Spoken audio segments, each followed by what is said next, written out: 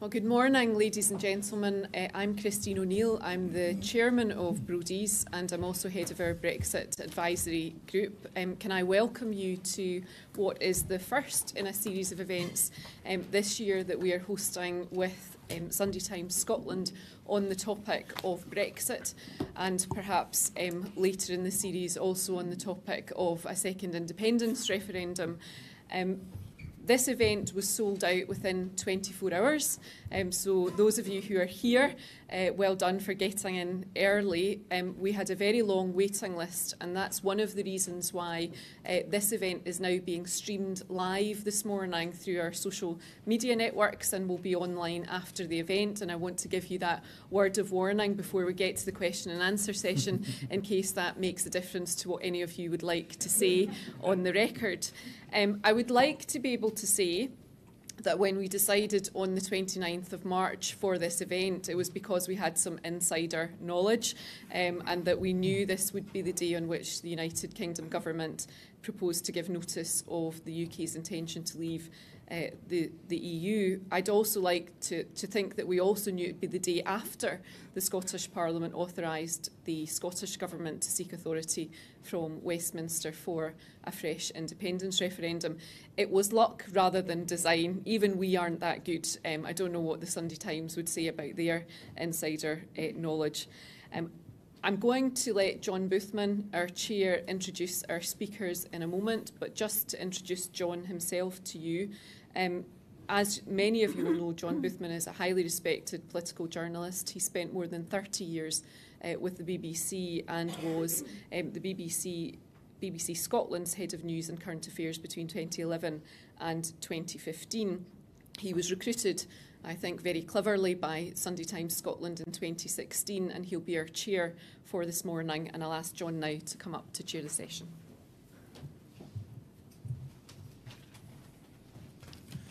Good morning, everybody. Thank you very much for coming out in this uh, grey Glasgow morning on this very important day. On behalf of the Sunday Times, can I welcome you to this event this morning, kindly sponsored by Brodies, with the best view in Glasgow in front of us. Um, as Christine said, we've had the good fortune in terms of timing and luck to have organised this event this morning uh, the day that Article 50 is triggered and the day after a Section 30 order was called for by the Scottish Parliament. Now, I want to go on very quickly to the substance of the morning, so I'll introduce briefly our panel. Then after that, uh, each of them will say a few words of context about the current debate in terms of Brexit and the constitutional future of Scotland. I'll ask a few questions. Then after that, there's two roving microphones at the back. I'll open it to the floor, wait till the microphone gets to you, and then if you can keep your questions short and succinct, then we'll get along in the short time already that we've got left. Um, in terms of our panel, we've assembled a stellar panel this morning. Mike Russell, the Scottish Brexit Minister, who's been at the heart of the Scottish Government's thinking, not just now in terms of Brexit, but in terms of the whole constitutional debate in Scotland since 2007 and has been a fixture in Scottish politics for more than 30 years. Next to him, Jackson Carlaw, who is almost of the same vintage. Uh, his colleague Eddie Barnes told me this morning he's been attending uh, political conferences with the Conservatives since the 80s and the 90s. Jackson's the deputy leader of the Scottish Conservatives. Uh, he's also the Shadow Cabinet Secretary for Culture, Tourism and External Affairs and a member of the European Parliament's uh, Committee at the Scottish Parliament, the European Committee of the Scottish Parliament. John Curtice is the expert's expert. He's the country's foremost psephologist, and John can give you data and detail of anything relating to public opinion in any of these matters. And at the end of the platform, Dr. Kirsty Hughes, uh, who's here today in her capacity as a writer, author and commentator on all matters European and in international affairs. She's also the director of the Scottish Centre for European Policy. Uh, what I'd like to do now is give them a couple of minutes each, starting with Kirsty, um, on the context and choreography of what happens next in terms of Article 50. Kirsty. Uh, thank you very much, and good morning, ladies and gentlemen. It's, it's great to be here on this, on this sadly historic day. Um, I, I was thinking of parallels at the risk of wasting some of my two minutes, but um, I don't know how many of you know that the Indian state of Nagaland declared independence on the eve of Indian independence the day before um, and is still fighting for it all, all, these years later. So perhaps not, not the best parallel for those of you who want independence rapidly, but if, if, we, if we see the Tuesday, Wednesday announcements together, um, that's quite interesting. Um, I think everything's going to carry on coming very thick and fast. We know that the Article 50 letter will be delivered at 12:30 British time. Donald Tusk, the European Council President, has said he will hold a, a press corner at uh, 12.45, so just 15 minutes later. Um, and we're also expecting this afternoon already that the European Parliament will publish its so-called resolution setting out its approach to the Brexit talks, although it won't actually vote on that for, for another week. Um, obviously we've got the Great Repeal Bill tomorrow, and we would expect by Friday that we'll be seeing Donald Tusk again, who's expected to, to uh, give out the draft European Council negotiating guidelines, in other words, the guidelines from the EU 27. And as I heard one senior EU 27 diplomat say just last week, there's probably going to be a media firestorm at that point. The, these are going to be a bit of a wake up call from the EU 27 point of view. So, so don't expect the week to get any calmer. Um, the EU27 won't then actually meet until the end of April to finalise those guidelines. There's going to be another month after that while the Commission goes into greater detail on its own negotiating plans. So I, I think at the very earliest you're going to see David Davis opposite the table from Michel Barnier at the end of May, early June a lot of people have suggested that then not much may happen until the German elections are out the way. I tend to disagree with that. Um, and in fact, what I think may happen, let's call this informed speculation, is that what there might be, first of all, is some joint statement about the rights of EU citizens. It won't be a solution. The solution is going to be extremely complicated to sort out pension rights, health rights, timing, and so on, um, but a statement of intent. So there'll be a positive start, but then I think it will rapidly get extremely difficult and fractious because there's going to be this debate about do you solve the budget and the EU citizens' issues first and, and the UK's budget liabilities, or do you then, um, in parallel, start to discuss the trade deal? Um, the EU's view is that you wait till December to have made progress before you begin. Of course, if you wait till December, you've only got about nine or ten months to September 2018 when you need to wrap up the exit deal, not the trade deal, but the exit deal, to have time to ratify.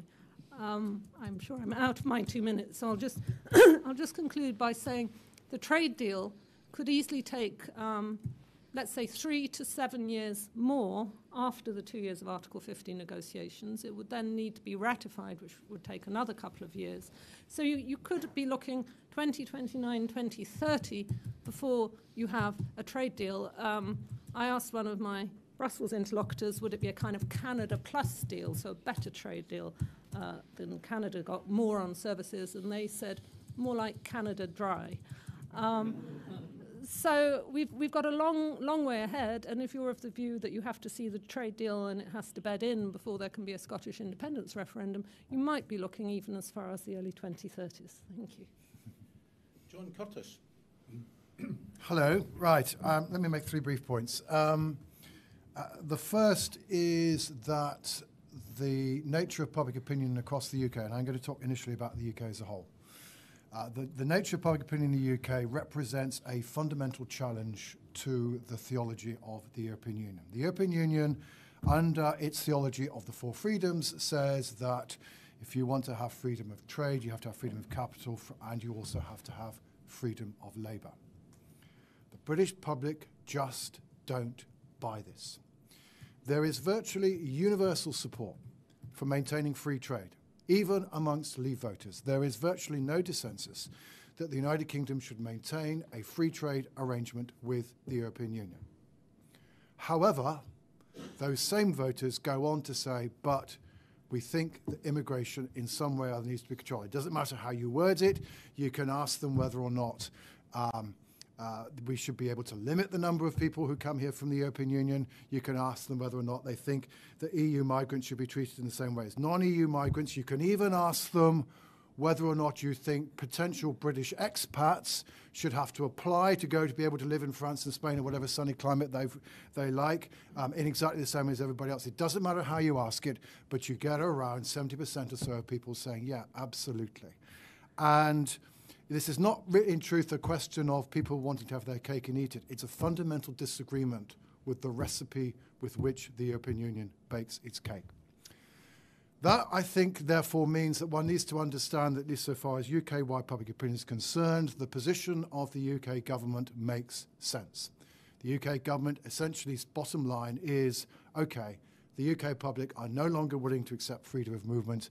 Um, we're not that keen on the ECJ anyway, so therefore we're out of the single market, and we will then take it from there. Um, in my view, the reason why the uh, referendum was won by the Leave side was immigration. The reason why we ever had a referendum was because of immigration. Um, and to that extent, at least, it's clearly the fundamental issue. Second point I want to make is that uh, the UK government has had some, though not overwhelming, success in persuading the public that it knows what it's doing.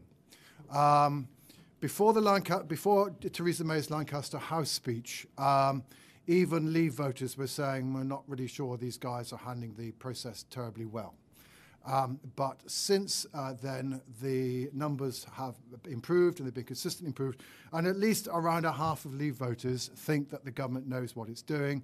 Um, and uh, also that people think that Theresa May may actually be able to come up with a good deal. Um, so there's still plenty of skepticism out there but the government's had some success in moving public opinion in its direction, although in so doing, it's also raised expectations because the proportion of people who think that immigration will fall as a result of Brexit has gone, also gone up in the wake of the Lancaster House speech. Um, so that's the UK picture. Scotland. The brutal truth is that so far Brexit has completely failed to move the numbers on IndyRef. Um, if you take the average of the opinion polls uh, that were conducted in advance of the SNP conference, about four or five of them, take out the don't knows, it was yes 46, no 54. Uh, what was the position in the six months leading up to June the 23rd? It was yes 47, uh, uh, uh, no 53. Um, the difficulty, I think, for those who wish to tag Brexit, important though it may be, and link it to IndyRef 2, is that much of the Remain vote in Scotland, as indeed I think was true across the UK as a whole, was a pretty reluctant vote. It was, well, I suppose, on the on, uh, all things being equal, it's the side on which our bread is buttered. And in truth, for many people in Scotland, uh, there, some were supporting um, Remain because it was linked with the idea of independence, um, uh, uh, independence in Europe. Meanwhile, on the other side of the fence, the truth is that Brexit has proved to be as disruptive of, uh, of nationalism in, in, exactly the same way as it's been disruptive of every other political movement in the UK. UKIP only accepted. I have, by the way, for the first time in my life, you know, you know, you do those surveys and you kind of find two percent of people who say they voted UKIP who want to stay inside the European Union. And whenever you give this presentation, people say, "Yeah, why the two percent?" I now have a data set for the first time in my professional career in which I've got 0% of UKIP voters saying they voted to stay inside the European Union. So Brexit at least, at least, at least managed to achieve one historic step, whatever else may happen in the future. Yeah, uh, good morning, and uh, thank you all for coming along.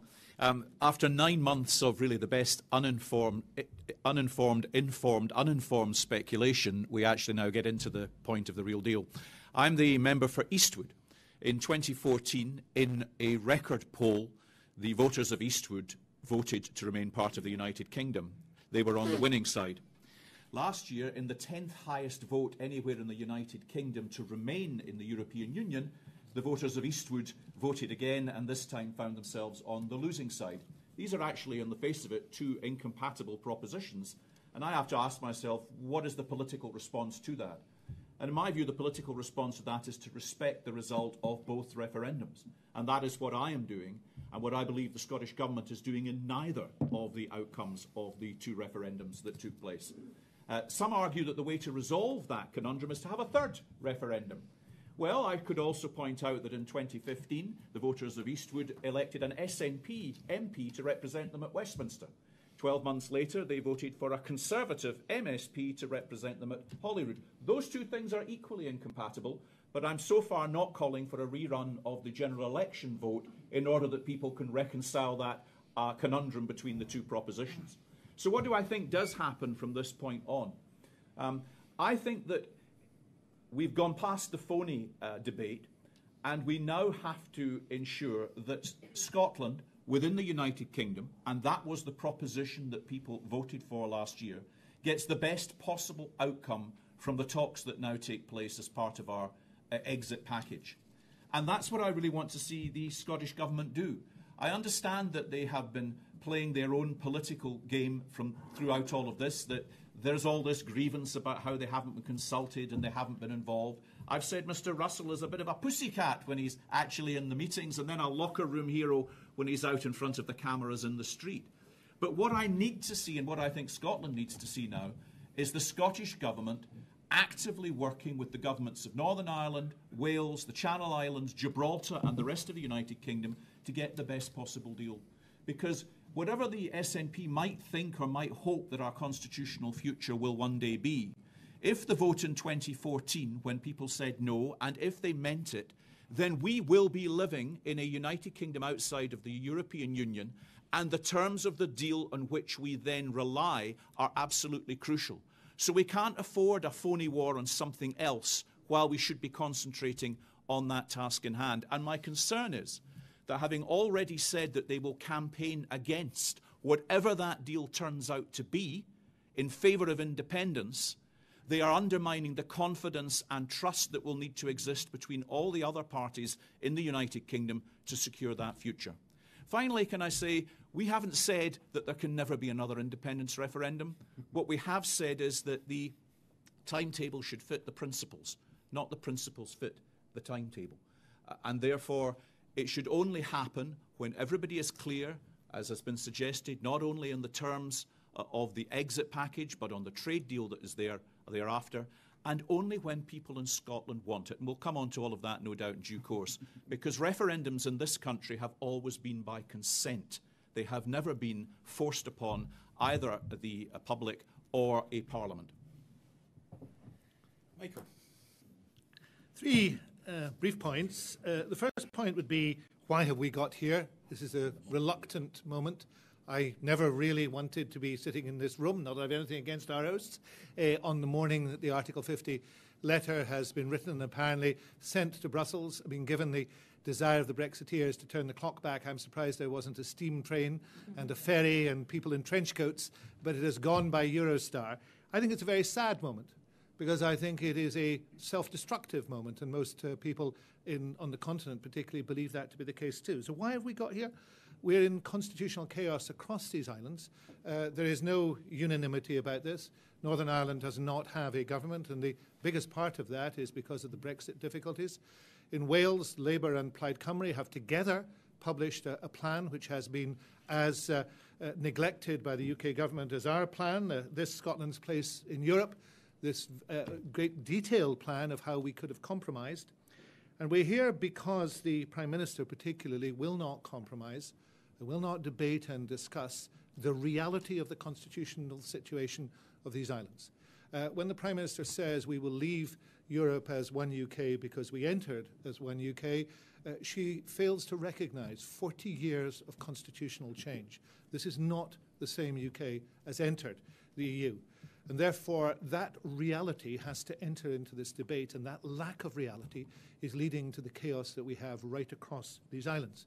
And the root cause of that, John said something very interesting in terms of migration, but the root cause of that is not, in my view, migration.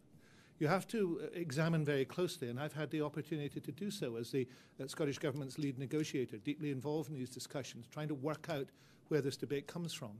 This debate comes from a profoundly sovereigntist view of the UK Parliament, which used to be held by a very small group of people. This is an extreme sovereigntist view, and has now become the majority view within the UK government. And that view says that the UK Parliament cannot be uh, second guessed. It is untrammelled power that it has to exercise. And this is seen particularly strongly in the view of the European Court of Justice that there cannot be any court that c- can make a judgment which interferes with or second guesses or overrules the UK Parliament. And that point of view leads you to the position that you cannot share power. And the UK Parliament will not share power in Europe, but more, perhaps even more worryingly in this room today, leads the UK Parliament to the view that devolution is unacceptable because it's a sharing of power. We're moving in it into a situation of centralisation of power being exercised only at Westminster. This is a backward journey.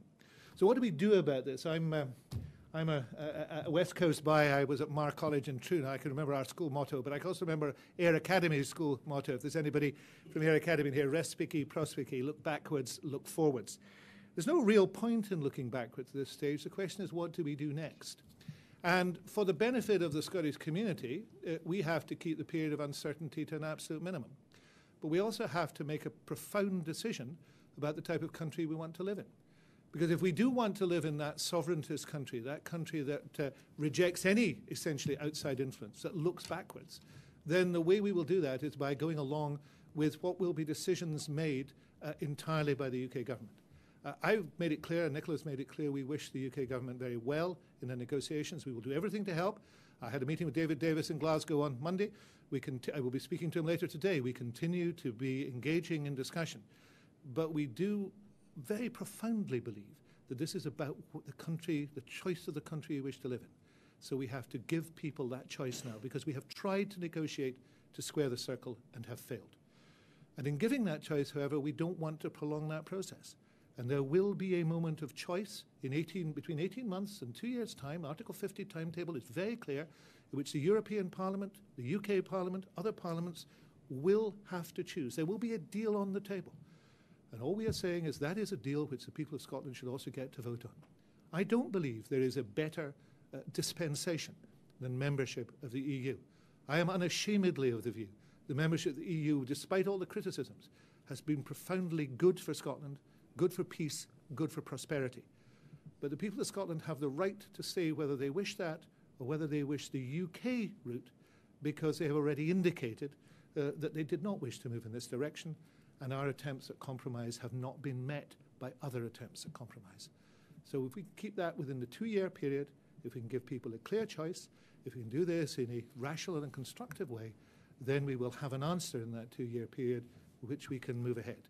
And if there is a difficulty for the Prime Minister in negotiating, is a difficulty she has created herself by not being, being willing to take along with her those people who are willing to go along and to have a, a, a compromise and a, to see the circle squared.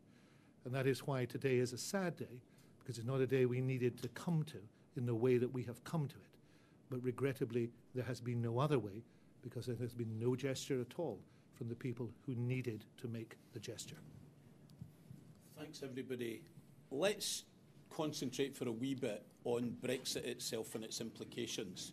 We've heard uncertainty, fiendishly complicated, the rights of EU citizens, an exit package, a trade deal. Mike, you um, spoke at the end there about a two-year period. Are we really serious that this can be done within that time frame because that has implications for the constitutional debate? Well, I think, as ever in this, it depends what you mean. Uh, can, as Kirsty said, a complete set of trade deals be put into place in two years? No. I heard a presentation from Jim Rollo, a very distinguished trade expert, on Monday, which he made it clear that was an impossibility. And Kirsty made the, the correct point, too, that if you're talking, for about a trade plus or a trade minus deal, that's a long and complicated process. R- immensely regrettably, if you'd been talking about a single market minus deal, if the view had been that you stayed in the single market and negotiated, that, that could have been done in its completeness in two years and would have been much simpler. But you can't do that. But there has to be an agreement on leaving the EU and the terms of leaving the EU. That has to be done in the two years. There is the potential under Article 50 for a six month extension, which has to be granted unanimously by all 27.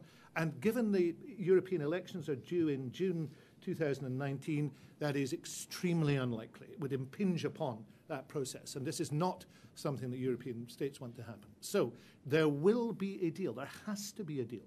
And indeed, even no deal is a deal. Because if the UK government says, throws its hands up and says, we're not having any of this, you know, we're not negotiating, that doesn't stop the Article 50 process. All that it does, it means one partner's not in the room. And the 27 can carry on, say nothing, and at the end of that say, this is the deal, you know, and if you don't accept it, you're still out, but you still owe us 50 billion uh, euros or whatever it will be. So there is something to vote on. There's, people should have the chance to vote on it, and if the European Parliament can vote on it, the Scottish people can vote on it. Jackson, it's said that there are 38 different governments, uh, the 27 governments across Europe, plus a number of sub-regional governments uh, who will have to, on the European side, endorse this deal. Really, can we do it in that time frame? Well, I, I think I don't actually disagree with either Mike or Kirsty in terms of the uh, likely uh, timeline that will be ahead of us. When we trigger the Article 50 today, there is a two-year opportunity. It could be extended if all the other governments agreed, but then the process of ratification after that is more complicated than it is if it's uh, an agreement that can be completed within the two-year period. It will be the trade arrangements that will take time to follow along from after that. Um, all I can say, really, because I'm not a minister, I'm not a psephologist, I'm not a constitutional expert, I see this from a political point of view. I sit in the European Committee. Like many of you, I have uh, links across Europe. I have visited and spoken with diplomats across Europe.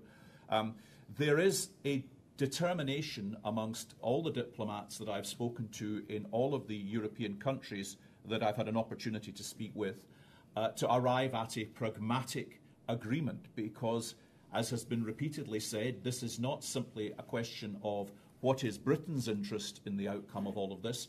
There is a European interest in the outcome of all of this in terms of the trade that is done between the United Kingdom and the rest of Europe. it, it is a net gain to the rest of Europe to be able to maintain those trading relationships. So I do believe that pragmatism uh, and business has always been pragmatic. My background was in business. People always arrived at a pragmatic working relationship in order to proceed. I don't underestimate the difficulty of any of this. I've sat in the European Committee.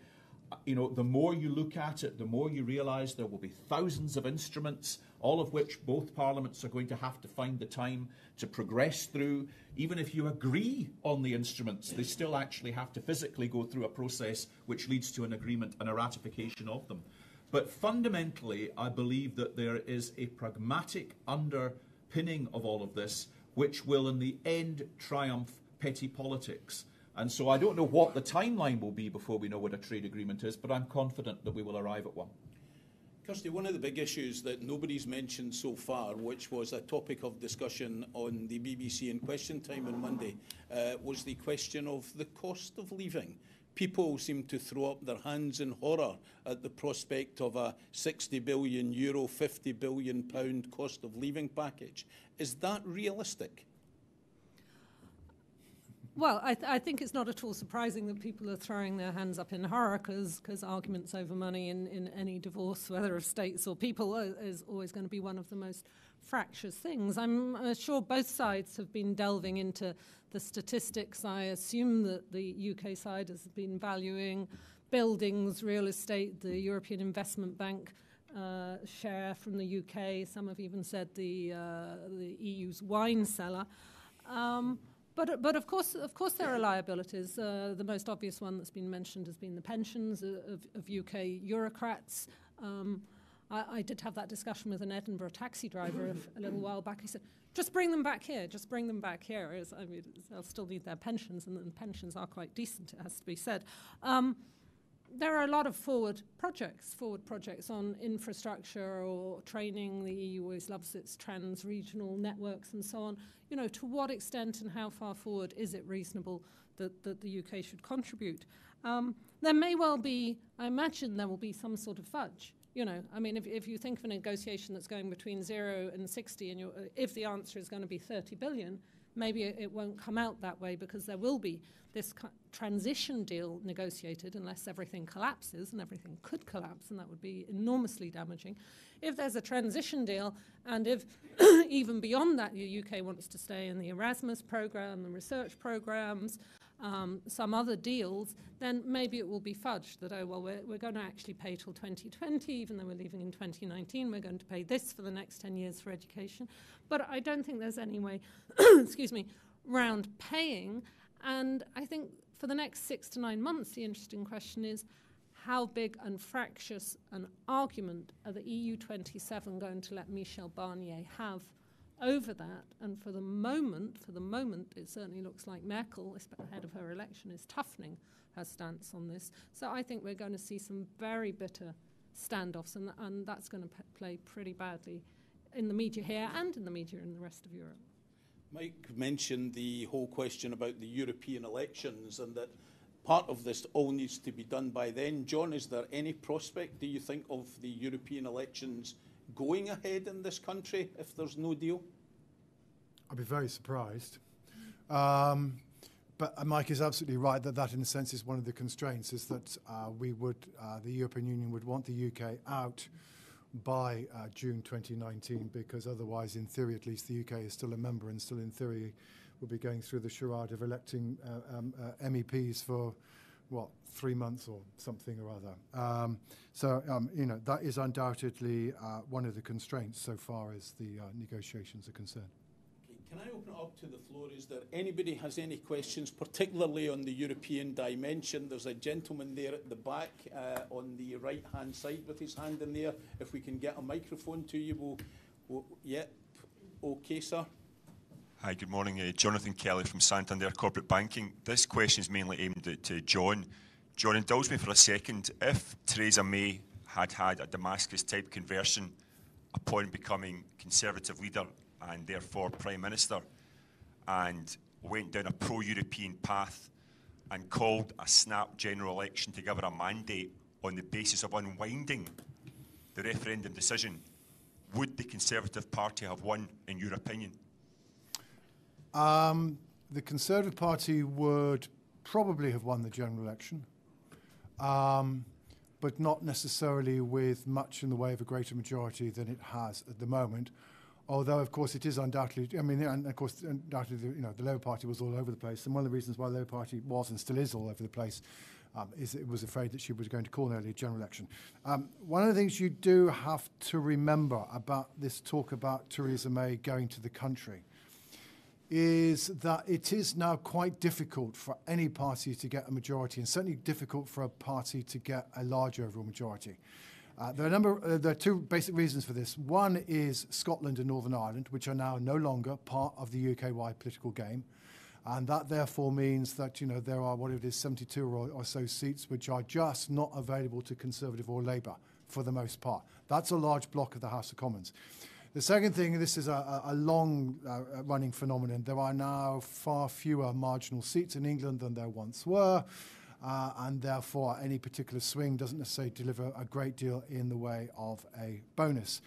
And certainly, if you looked at, when you looked at the opinion polls at the time when Theresa May became Prime Minister, which is kind of last summer, you were looking at, looking at leads for the Conservatives around 8, 9, 10 points. Just remember, it took a seven point lead to get a majority of 12, and that was only done because they managed to crucify the Liberal Democrats. Um, and that therefore, though those leads look large, they would, not necessarily deliver a large majority. Um, so yes, she would, she would, she would have probably won the election, but um, in so, about, though of course the big uncertainty there is well, but what would have those voters who just voted leave to do, and that you know would be unknown. I mean, uh, kind of to taking what I suspect might be the implicit point of your question, is there any evidence that the British public have changed their mind? The answer to that question is no. Uh, YouGov have regularly asked people uh, almost uh, once a week, in hindsight, do you think the, uh, the decision to leave the European Union was right or wrong? And they nearly always get a small majority in favour of saying the decision was right. And about 85, 90% of people who voted to remain think it's wrong. About 85 to 90% of those people who voted leave think it was right and frankly, uh, they, neither side have significantly changed their mind. So the risk certainly to Theresa May of, of you know, there was one issue about whether she'd hold election, period, and I've kind of laid out the ground for that. The difficulty, of course, of, of having a sudden Damascene conversion would be, I think, you know, even given the state of the Conservative uh, Labour Party, uh, the Tory Party would have been struggling to defend its position. And you know what? Nigel Farage might have had a very large grin over his face at the prospect of such an election. Okay, Anybody else? Uh, gentleman there. Uh, James Callender, Lockton Insurance Brokers. Um, could any of the panel comment on the attitude of the various European interests to Scotland's constitutional future? Mike. yeah, the constraint in this, and we'll do a second, the constraint in this, of course, lies in the first line of Article 50 itself, which is the withdrawal is to be done by the constitutional process of the nation concerned. And of course, there is no written constitution in the UK. So this becomes very opaque for the other countries. They're not really sure what is going on. Uh, we published a document last November uh, to try and help uh, the 20, other 27 countries we widely distributed in Europe, uh, saying this is actually how we've got here, and this is the constitutional process we're in. Within that, there are the discussions we've had have broadly been positive. The German foreign minister at the weekend was talking about prospects of, of membership and being positive about it. Uh, my colleague Fiona Hyslop gave evidence to the Constitution Committee of the EU um, that we have spent regularly time in Brussels and elsewhere um, uh, talking to other countries. Alasdair Allan was in Poland. My colleague Alasdair Allan was in Poland last Monday. So we keep an open dialogue. no country will say, you know, and does not wish to say, because they don't want to fall out with the UK, um, say, well, we're absolutely in favour of Scotland and we think the way Scotland has been treated is terrible. Equally, they will say things in private which they will not say in public. Um, my view is that there's a much greater realization of the difficulties that this is causing um, right across Europe than we might have expected. I spoke at a, a, a big conference in Berlin last November, um, and in the conversations I had with German politicians and German businessmen, there were two themes. One was a recognition of Scotland's um, positive approach to Europe. The second one was an incredulity about Brexit and an expectation that this would never happen. And this has been a common theme right across. It was a theme at the start of the Maltese presidency, which was surely this is not going to happen. No nation does this.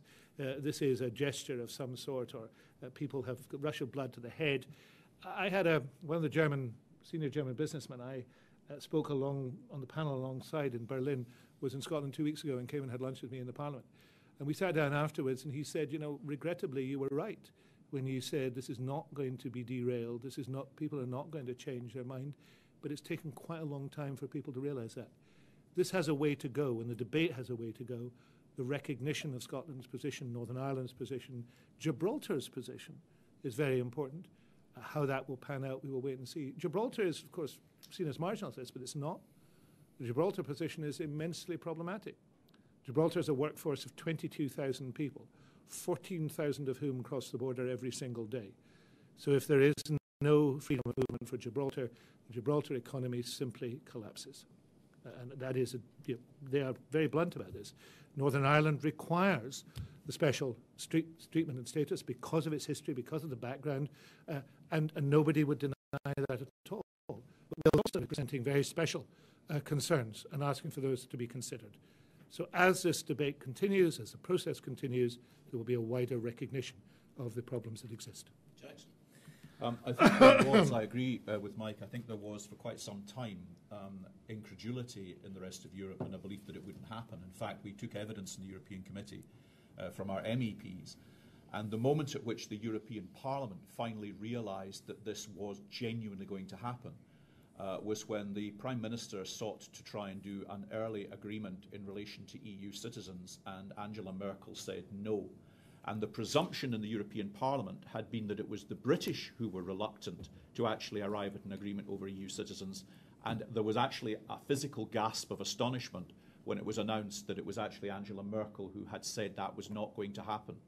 Uh, and so at that point, I think the European Parliament realised this is actually going to be a real, a real challenge. Um, we were over as a committee in July last uh, summer, and yes, there was undoubtedly a tremendous amount of goodwill and sympathy towards Scotland and Northern Ireland and London. You know, there was a recognition amongst the diplomats within Brussels that there had been different votes in different parts of the United Kingdom.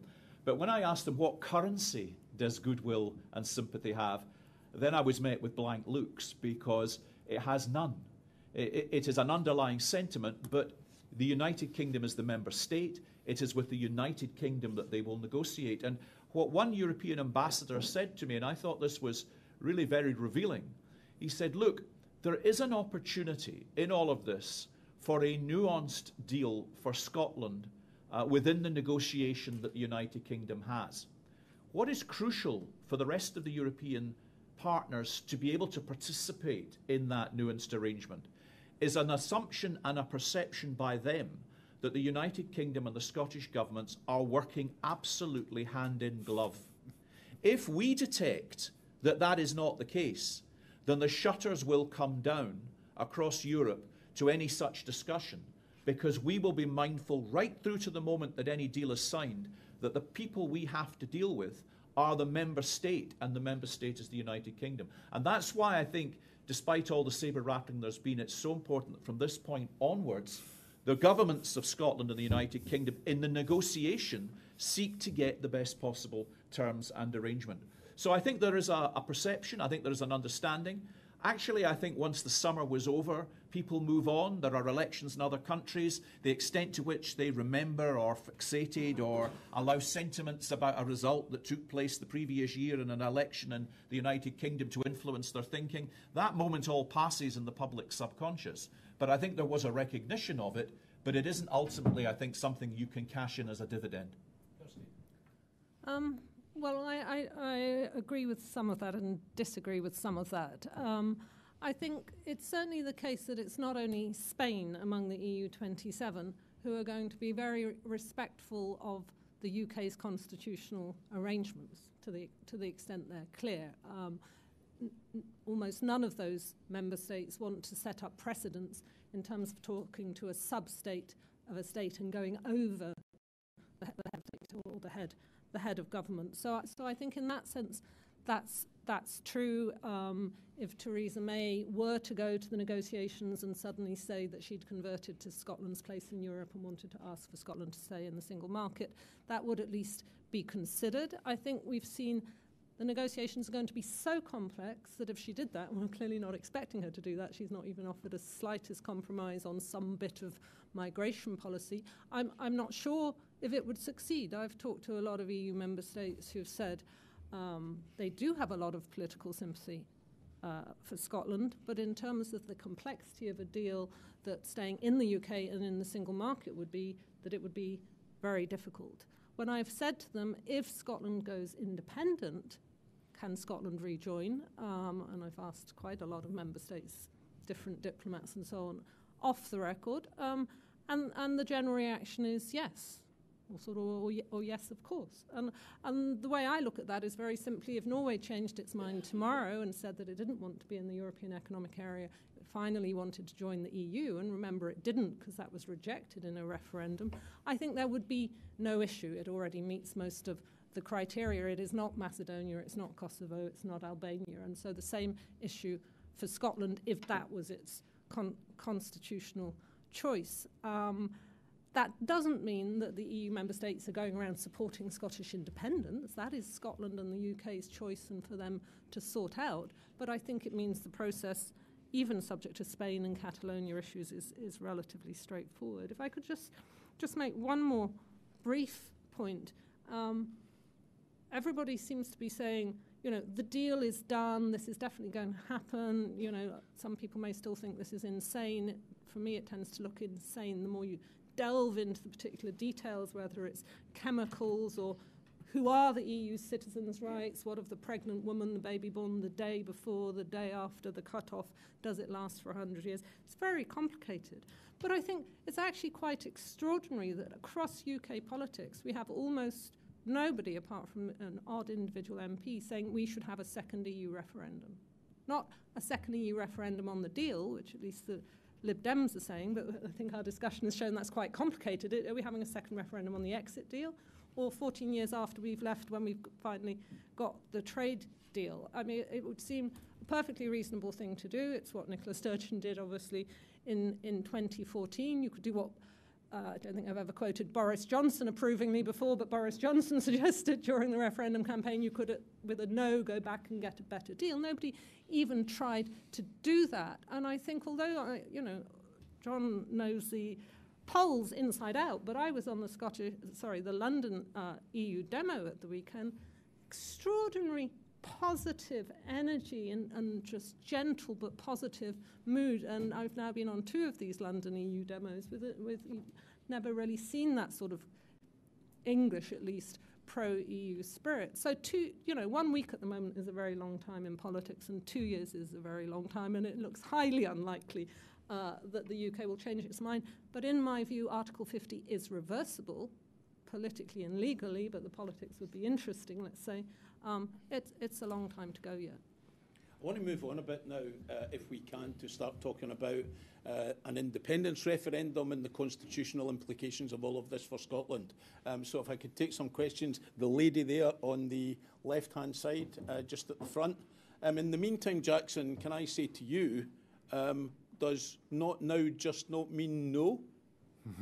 no, I, I, think we've been very clear that um, well, first of all, in what situation do we think you could consider having a second referendum? That is when the terms of Brexit are clear, when the uh, future arrangements uh, are clear, when we've had some time to understand what they are. Uh, so that would be the political scenario. The uh, public scenario would be one in which it was clear that the public wanted a second independence referendum. Uh, you know, 92% of people in Scotland believed that we should have the referendum in 2014 at the point when it finally took place. 92%. Uh, the entire Scottish Parliament voted for it. You know, despite um, whatever the Labour or the Greens say now, in fact, Labour, the Greens, Liberals, and Conservatives all supported the referendum that took place on Europe in 2016. Uh, these things are underpinned by political and a public consent. We now only have two of the five parties in the Scottish Parliament who want it, and we, from opinion polls, see that barely a third of people in Scotland actually want a referendum. So there has to be a public consent for that referendum, and if that exists, and we have left the European Union, and we are clear about the future arrangements that there, there, there then are, uh, we wouldn't stand in the way of a referendum in those circumstances. But that is not where we are, and as that is not currently something that I think you can predict or envisage to any timescale, and certainly not the one the First Minister has detailed. Before I take the question, Mike, there's not going to be a referendum at least until 2021, is there? I think there will be a referendum when the Scottish Parliament put in place the arrangements for that referendum, as would happen in a democracy. Uh, I just want to make it absolutely clear now is not what we are talking about. Now is not the word we are using. And there has to be a clear opportunity for people to understand what the choice is. That is the issue. And that's what we've made all along, and the First Minister has made clear how flexible she is, how willing she is to negotiate on this issue. That is the issue. But when people stand on a manifesto, and I'm happy to quote the manifesto in which I stood, but I think people probably know that anyway. Uh, people stand on a manifesto. If they go to a parliament, if they get the majority of a parliament, then if you're also saying that that can be vetoed by an opposition, not by votes, but simply vetoed by an opposition, you are in a very serious situation. If you then compound that by saying that for the first time ever in devolution, this is the first time ever in devolution, there can be no discussion between the two governments, because that's where we presently are, then you are in a very serious situation. And that's a situation we appear to be in but it will only be resolved by negotiation and by discussion. That is the only way you can resolve this, and we have to endeavour to have that discussion and negotiation and to keep, and it's a point I made at the beginning, to keep the period of uncertainty to a minimum, which means at the earliest point at which there can be an informed decision and there will be an outcome, then you make that choice then. The lady in third row. Katrina Webster from the Press Association. As you said, Mr. Russell, that there there will be a moment of choice between 18 months um, to two years. What avenues can you pursue to ensure that Scotland gets that choice if you are refused a Section 30 order? I, I, I make the point again uh, to the Press Association, to, to everybody else. You have to negotiate our way forward from this point. There simply isn't an alternative to that. You know, devolution works because there is uh, consent and because there is dialogue. We have continued, in, for example, in dialogue on the question of, of Europe, even though the proposal we put forward have had no response. And the First Minister said again two weeks ago, you know, if the UK government wishes to discuss these, if we can find a way forward, we'll try and do so. Uh, and that's exactly where we are just now. Uh, you know, we have, there has been a vote in the Scottish Parliament. It is a majority vote. It was based upon a, a manifesto commitment. We are now in the position where the Scottish Parliament said this is what we want to happen uh, and therefore we have to have a dialogue. Now, We'll, we will certainly indicate after the uh, uh, uh, Easter recess, as the First Minister said, if there's no progress, we'll indicate further steps we will take. But, you know, I go back to this situation in Scotland, in Northern Ireland, in Wales. We have a crisis in devolution and a crisis in the Constitution across these islands. And the central figure in that, regrettably, is the Prime Minister. And therefore, the Prime Minister needs to look at this and to say, causing that constitutional chaos is immensely damaging for everybody. John, no, not now. Um, can I perhaps be helpful? Um, I think anybody who wishes to understand what could possibly happen needs to remind themselves of a series of documents produced by the Scottish Government between 2007 and 2012 in which there was quite considerable discussion about the possibility of holding a referendum on the authority of the Scottish Parliament and without uh, getting a Section 30 order. Um, and indeed, there was a very substantial debate uh, during the course of 2012 between the various sides about whether or not that would or would not be possible. Um, but certainly, the argument that was put forward by the Scottish Government at that time was that because under the Sewell Convention you cannot uh, you should not at least change the powers of the Scottish Parliament without the assent of the Parliament. Therefore, a referendum that refers to the powers of the Parliament is therefore potentially not ultra vires. And the wording it came up with, and I can't remember exactly, but it's roughly along the lines of Do you agree that the Scottish Government should enter into negotiations with the UK Government with a view to achieving independence? So it's not directly about independence, it's about giving instruction to the Scottish Government. Now, it's, if the Scottish Government does decide to go down that path, it will certainly undoubtedly make some lawyers rich. Um, it will probably end up in the Supreme Court. Um, and there are some lawyers who are absolutely convinced that it would be ruled as ultra vires. There are others who are equally convinced that it would not. Um, but that is the path down which perhaps we might go. And we might discuss. and I think the crucial thing is there's a lot of loose analogy here. This is not the same as the Catalan situation. Catalonia, under Artur Mas, held a referendum that was ruled uh, illegal. We don't know whether or not, if the Scottish Parliament were to attempt to, to run a carefully worded referendum, whether or not that would or would not be overturned by the Supreme Court. But the, it's all in Scottish Government documents on their website. It's all there. Gentleman there, oh, uh, third row back. Yep.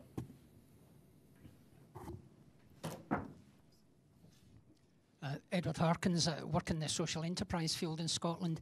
Um, uh, John, uh, polling has told us that the uh, the anti-free movement feeling among the, Scot- the UK electorate is very, very profound, very strong. Um, free movement of people is equally profound and very strong uh, to the European project. It seems that if a post-Brexit globally footloose UK is to be competitive, it will still require uh, large levels of immigration, free movement of people. Um, therefore, Brexit, it can be assumed, will not deliver significantly lower levels of, of free movement of people or immigration. Where would that leave us, that situation? We would have Brexit, we'd still have high levels of immigration. We quite possibly would also be outside the single market. Where, where would that leave us? Okay, uh, let, let, me try to and Jackson will do an even better job of explaining the UK government's position than I do, but let me explain my understanding of the position. Basically, what the UK government is arguing is that if we're out of the freedom of provisions, then we at least can implement our own immigration policy and can therefore decide for ourselves how many people and of what kind can come in. And there is no doubt that you know, the crucial thing that enabled UKIP to turn Europe into such a big issue was the fact that the United Kingdom has, I mean, one needs to understand the United Kingdom has, by its own historical standards, has been experiencing unusually le uh, high levels of net inward migration for the last 15 or 20 years, uh, not least since the fateful decision in 2004 to be more Europhile than most of the rest of the Europe and to allow in the A8 um, accession countries to have their uh, freedom of movement rights straight away. Um, and that therefore we had a UK government that, for good or ill, had made this commitment that net immigration would fall down to less than 100,000, and frankly has got absolutely nowhere near it. And it's therefore very easy. Well, the reason why, of course, you can't get anywhere near it is the brutal truth is that for so long as you're a member of the European Union, you cannot control immigration numbers. Now, of course, what UK immigration policy would be is another matter. And certainly David Davis has already kind of recently, well, sometimes be up and sometimes below. I think certainly the Prime Minister has indicated that at some point or another, in the relatively near future, uh, uh, uh, once we have our own immigration policy, that the, num- the target number will be less than 100,000 for at least a year. So at least somebody's managed, you know, to keep that promise. But what it will be over the longer term, who knows? One other thing I should say, however, is I think the point realise this is history repeating itself. Back in 1948, under the British Nationality Act, we gave freedom of movement to all citizens of the then British Empire stroke Commonwealth.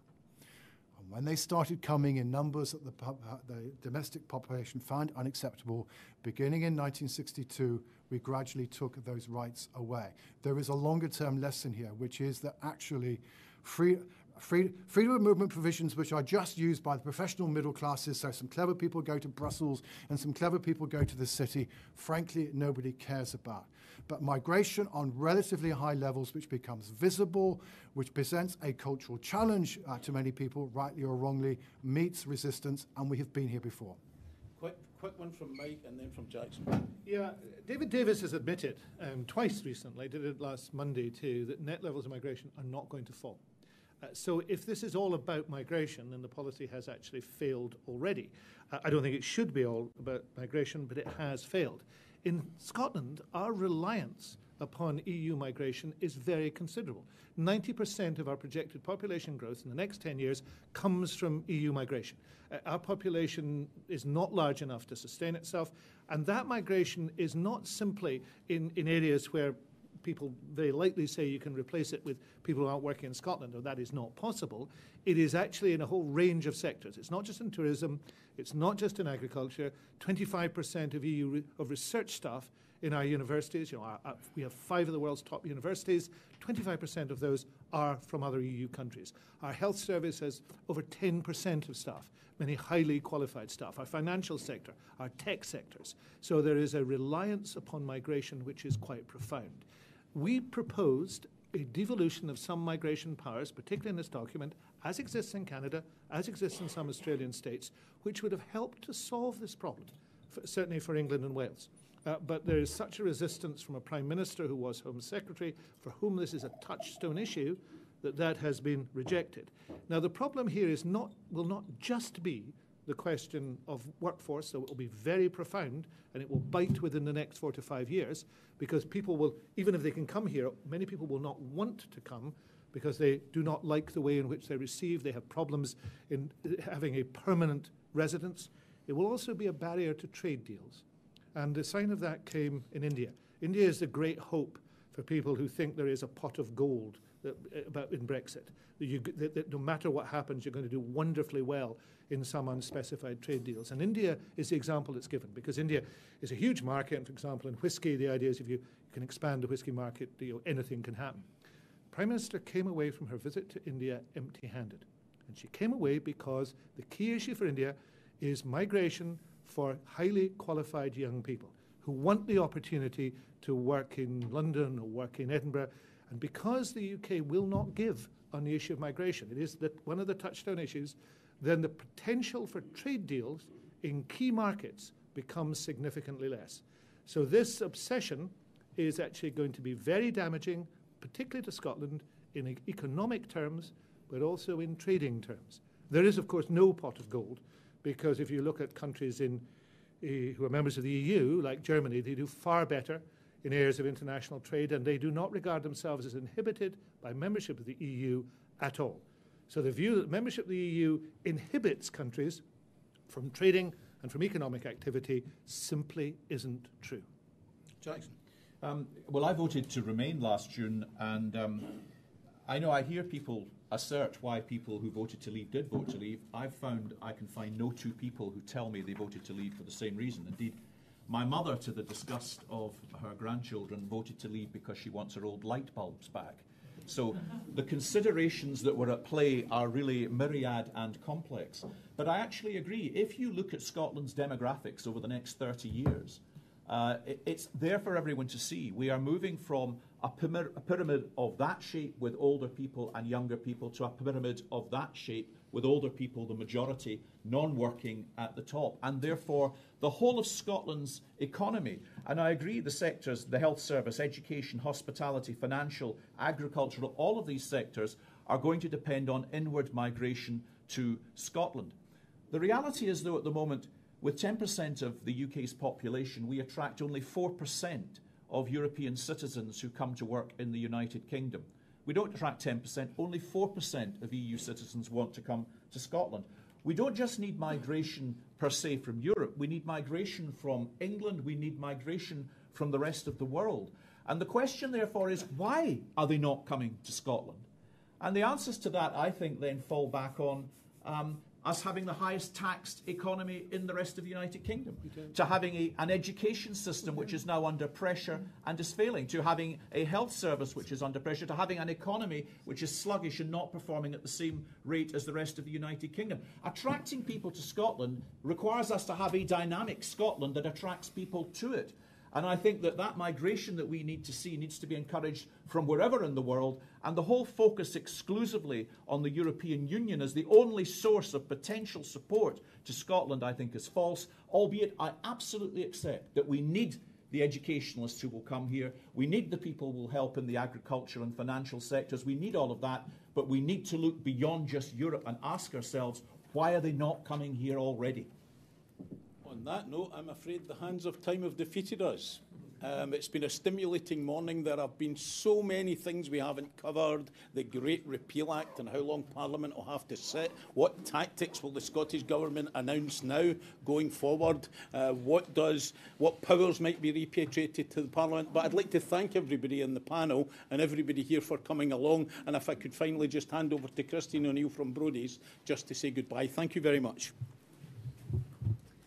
Thank you, everyone. I can tell you that I've had an email in the course of the morning while you've all been here from our partner, Clive Phillips, who is also in his spare time a sheep farmer who has been watching the live streaming via his laptop on the farm before he comes to work, Clive, um, and he tells me that it has been perfect quality. So we will try to do this uh, again. Can I thank you all for coming? Um, I think it has been a serious morning's debate, which I think reflects the point at which we've reached in um, this process. I mentioned this is the first of a series of events. The next will be in Edinburgh later on um, in April, and we'll send out details of that in due course.